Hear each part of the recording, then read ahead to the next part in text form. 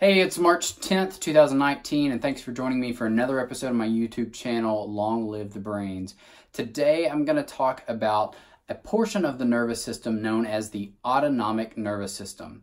Um, the nervous system is made up of several different parts. We start up at the brain. Actually, we've got a brain here. So we start up in the brain, go down into the brain stem, spinal cord, but then other part, parts include nerve roots and nerves and even muscles fall into the jurisdiction of a neurologist. But today I'm going to be talking to you about the autonomic nervous system, or another way of thinking about it is the automatic nervous system. And I say that because it's in charge of functions that are critical to life, but that you don't have to think about. So these can be things like breathing, your respiration rate, control of your blood pressure, control of your heart rate.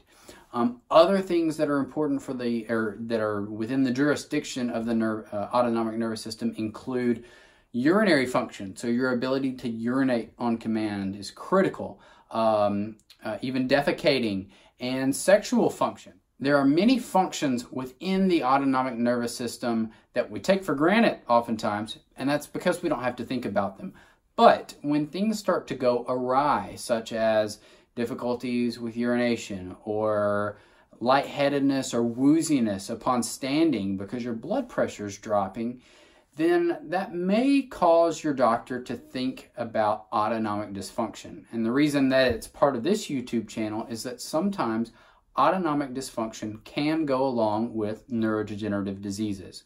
So it's important that if you're dealing with issues with controlling uh, uh, issues with low blood pressure, controlling your bladder, controlling your bowels, sexual dysfunction, that you discuss the possibility of autonomic dysfunction with your physician. And if it's thought that autonomic dysfunction could be present, then you need to have a thorough assessment from a neurologist.